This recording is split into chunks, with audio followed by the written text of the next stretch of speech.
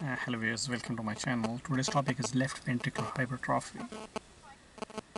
And before starting the topic, I would like to request you to subscribe this channel for more informative videos every day.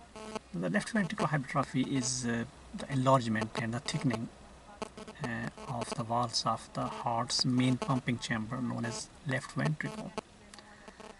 So specifically hypertrophy means uh, the thickening and the enlargement of the uh, walls.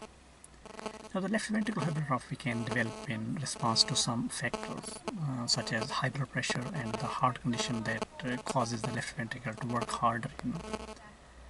And uh, as the uh, workload increases, the muscles tissues in the chamber uh, uh, chamber wall thickens, you know, and sometimes the size of the chamber itself also increases. And the enlarged heart muscle losses elasticity and eventually may fail to pump the blood uh, as much force as needed you know.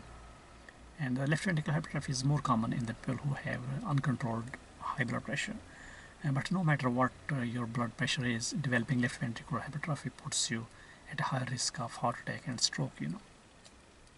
And the treatment of high blood pressure can help uh, ease your symptoms and uh, may reverse the left ventricular hypertrophy if it's properly managed you know.